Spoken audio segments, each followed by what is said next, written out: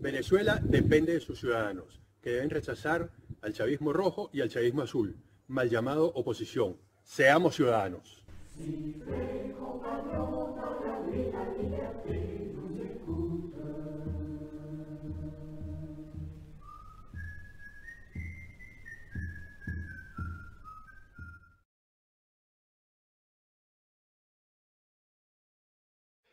¿Estás en España y crees que pagas demasiado en electricidad? Seguramente tengas razón y eso se debe a que no estás con nosotros en Factor Energía.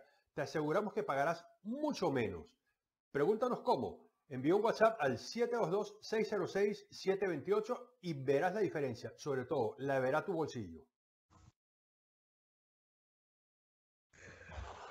Buenas noches a todos nuestros estimados amigos, los que nos ven en el estreno de este programa a este lado del charco. Buenas tardes a los que nos ven en nuestra querida América al otro lado del charco.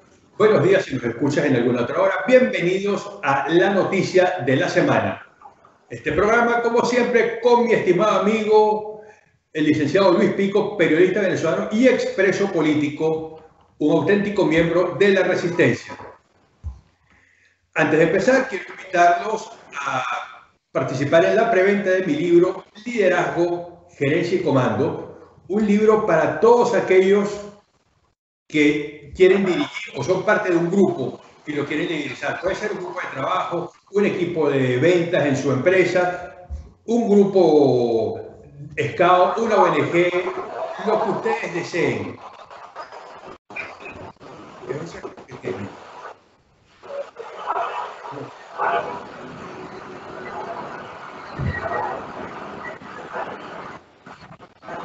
Ese ruido que se me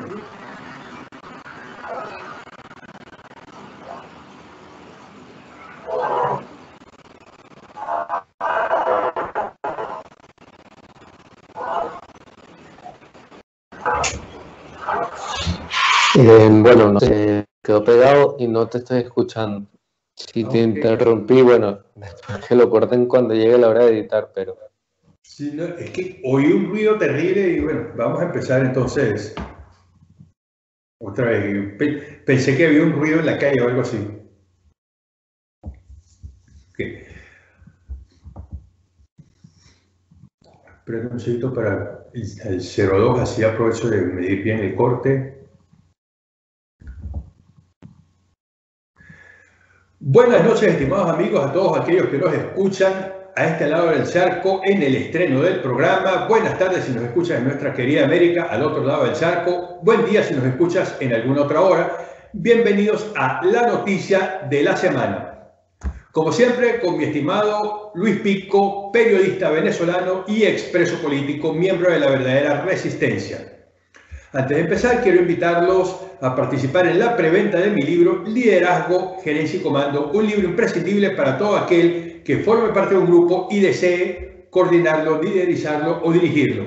Bien sea que el grupo sea su equipo de trabajo en la oficina, un grupo de ventas, un grupo scout, una ONG, un grupo de protectores de animalitos, de defensores de derechos humanos, lo que sea, el libro es ideal para ustedes porque es el líder como persona, los atributos del líder, no lo que tienen que aprender para trabajar como líder, sino cómo serlo. Y eso es válido incluso en su casa.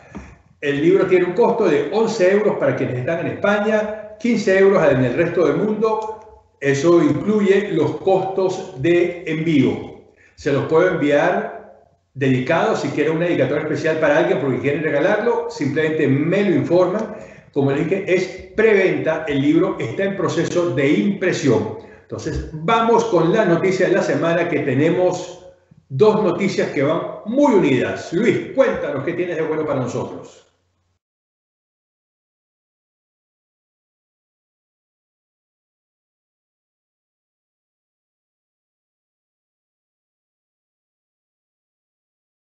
Voy a cortar el sonido por un momento. No sé qué pasa. Te escuché hasta la parte del libro. Ok, bueno, eh, cuenta hasta cinco, o sea, mentalmente y empieza y yo corto ese pedacito. Dale.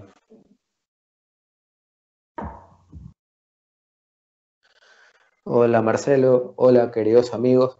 Eh, una vez más arrancamos con la noticia de la semana eh, y hoy tenemos dos temas.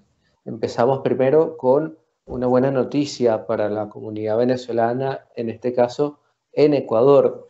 Eh, sabemos que el domingo pasado fue proclamado como nuevo presidente Guillermo Lazo y una de las primeras medidas que dijo va a tomar su gobierno una vez que asuma va a ser regularizar eh, ampliamente a la comunidad de migrantes venezolanos. Dijo que las medidas persiguen como objetivo eh, no solo tener una inserción social, sino también laboral para los venezolanos que están en ese país, que se calcula son alrededor de 400.000.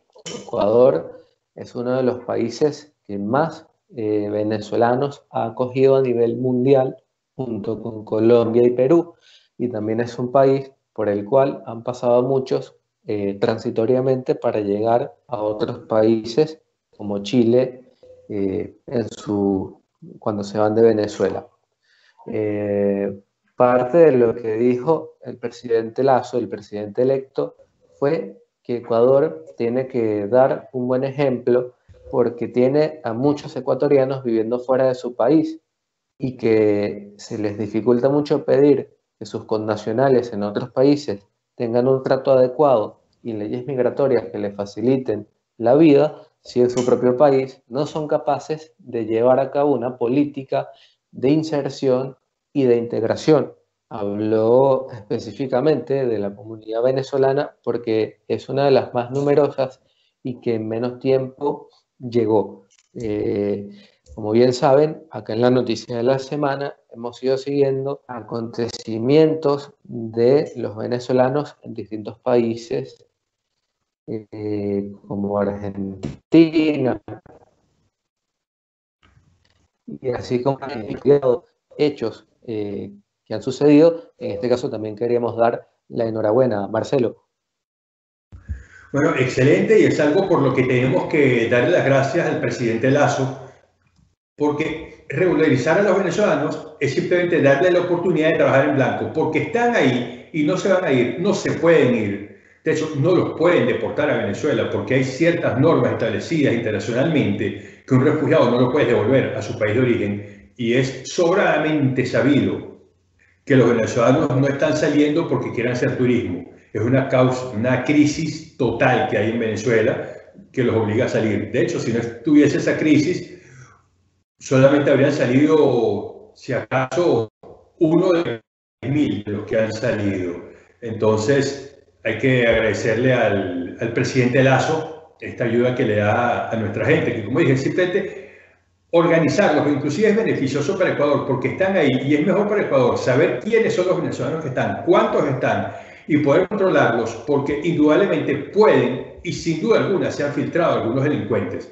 Si todos tienen documentación, para Ecuador es mejor la seguridad porque va a poder saber quiénes están y perseguir a los delincuentes, delincuentes que la comunidad venezolana no apoya, todo lo contrario. si hay un delincuente venezolano en la comunidad, el mismo venezolano tiene que sacarlo porque no puede él mancharnos a todos. Eh, al presidente Lazo lo que sí hay que pedirle, por favor, que no sea tibio, que tenga una posición firme, realmente firme, contra el tirano Nicolás Maduro, porque posiciones tibias pues no se ha llegado a nada. Y es un consejo también para él en lo interno, porque con posiciones tibias, Chile está a punto de perderse, Argentina se perdió, Bolivia se perdió, y lo último que queremos es que realmente se pierda Ecuador y que se sigan perdiendo países. Ponga mano fuerte, porque los socialistas no son amigos de nadie y menos son amigos de él. Defender Ecuador es defender la libertad, es defender la libertad de toda América y también a Venezuela. Gracias, presidente Lazo. ¿Qué más tienes para contarnos, Bueno, una de las, de las cosas que comentó Lazo fue precisamente que tenían que pasar de los comunicados y las declaraciones a acciones más contundentes. No las terminó detallando, lo único que adelantó fue que invitaría a Guaidó a su toma de posesión, más allá de de la posición actual, de la condición actual de Guaidó, no dudo en calificar a Maduro como dictador y en decir que es urgente la salida de la dictadura. Eh, bueno, pasando a otro tema, tenemos las elecciones que hubo en Perú también el fin de semana. Y hay algunos datos que son bastante llamativos.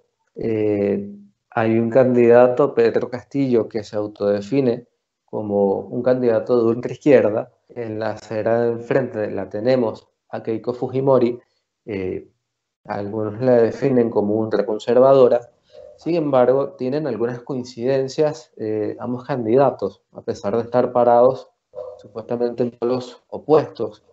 Eh, varias de estas coincidencias tienen que ver, por ejemplo, han manifestado abiertamente en contra de la legalización del aborto, en contra de la eutanasia y en contra del matrimonio igualitario.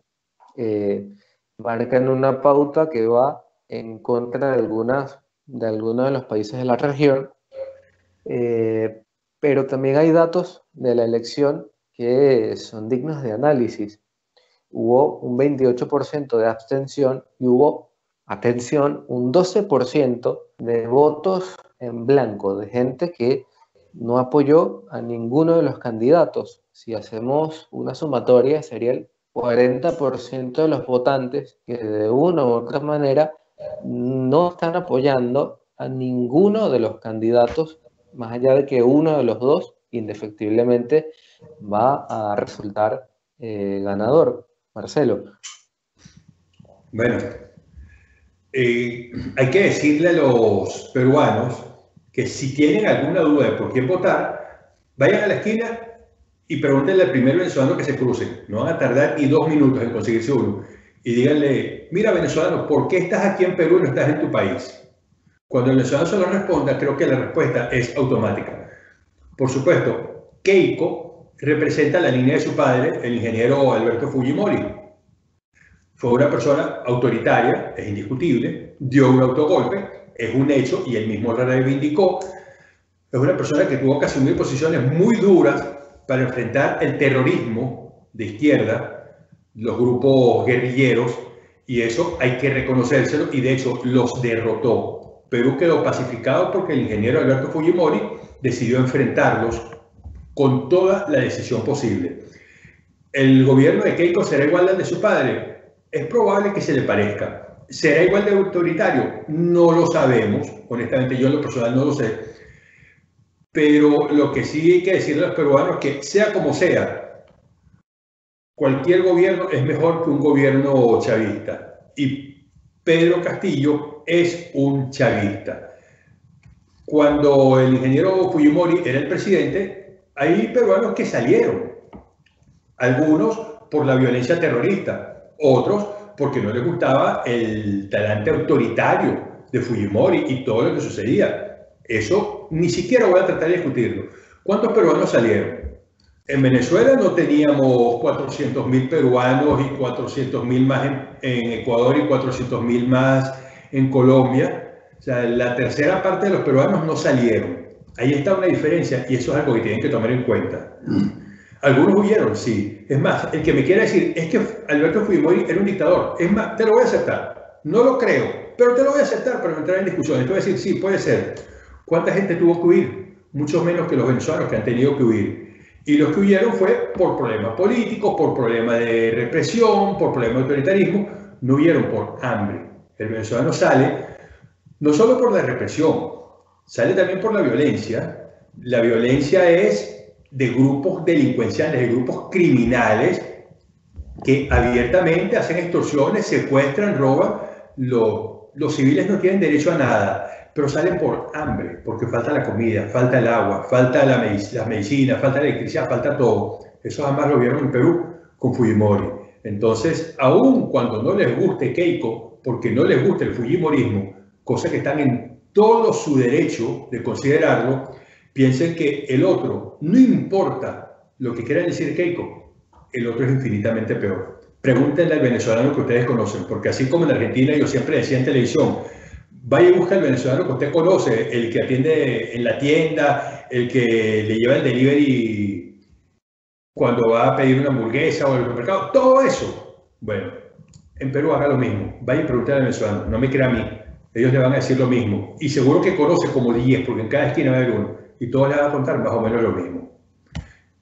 Dios salve al Perú, porque a pesar de que han sido muy duros contra los venezolanos, xenófobos realmente, y muchas personas que están allá me han contado episodios graves de xenofobia y discriminación, pues es mejor que el Perú no se vuelva chavista porque tenemos 400.000 hermanos que van a tener que salir huyendo de ahí, así como lo han dicho en muchos otros países, en Argentina, y muchos han dicho, si esto va empeorando, vamos a tener que salir. En realidad Argentina se está viniendo abajo más por la economía que por la política, pero cuando se resuelve el, problema de, del, coronavirus, del COVID, va a empezar el otro problema y va a empezar a salir los venezolanos. De hecho, los mismos argentinos ya lo dicen, que eso es Argenzuela, y comparan todo con Venezuela con temor afortunadamente se están rebelando contra el gobierno y peruanos no cometan el error, tienen el ejemplo allá, no cometan el error de votar por la ultraizquierda de Pedro Castillo.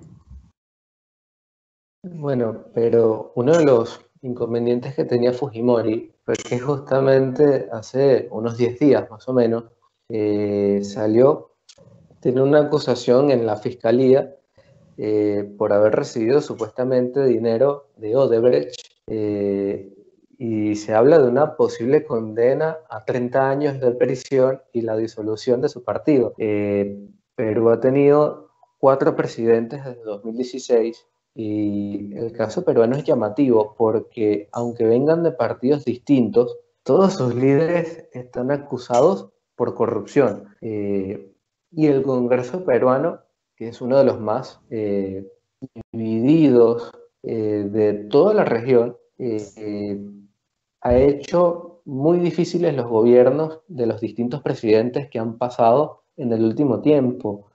De hecho, Vizcarra, que fue el anterior presidente al que está actualmente, eh, se habla de que sea parte del Congreso precisamente para tener inmunidad ante las causas de corrupción que parecieran ir avanzando en la justicia.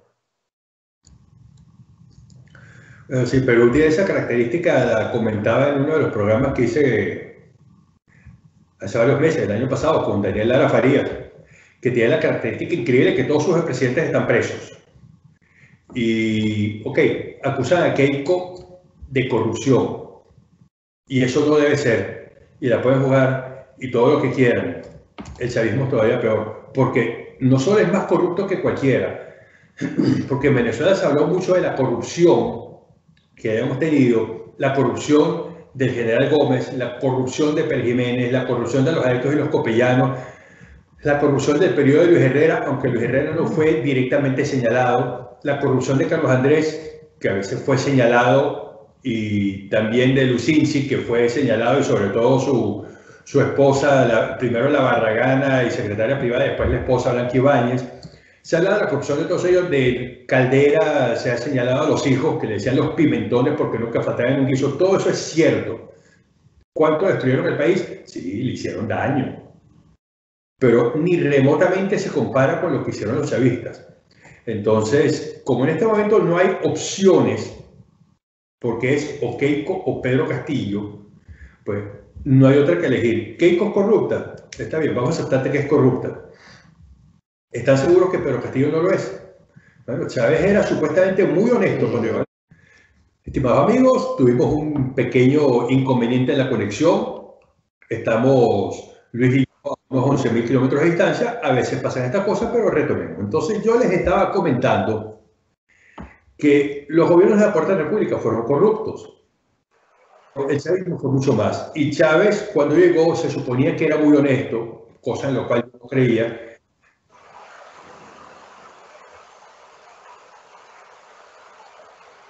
llegamos al punto donde se han robado todo, o sea, ya está a nivel de saqueo, pero no solamente se han robado el, tesoro público, regularmente los recursos naturales para, para darnos cuenta. Han también traficado con drogas han contrabandeado, han extorsionado gente. Sea, eh, la cantidad de delitos hacen que la corrupción sea solamente una pequeña parte de esa organización criminal. Por eso les digo que si me van a decir Keiko es corrupta, está bien, puede ser. No lo voy a discutir, ustedes la conocen, más que yo, todos los peruanos. Pero yo les puedo decir lo que es un chavista, y de verdad que yo prefiero un corrupto de la Cuarta República, a los cuales combatimos y detestamos, que el chavismo. Porque el chavismo fue muchísimo más dañino, terrible. Entonces, piénsenlo, porque no es cuestión de un simple problema de corrupción o de autoritarismo, cuestión de la destrucción que sufrió Venezuela. En el caso peruano, estará por verse eh, quién gana estas elecciones, pero indudablemente gane quien gane, por lo visto va a tener un escenario bastante, bastante fragmentado eh, y va a tener un Congreso y una oposición eh, que les va a ser igualmente muy firme, pero llama mucho la atención que el 40% del electorado se quede por fuera.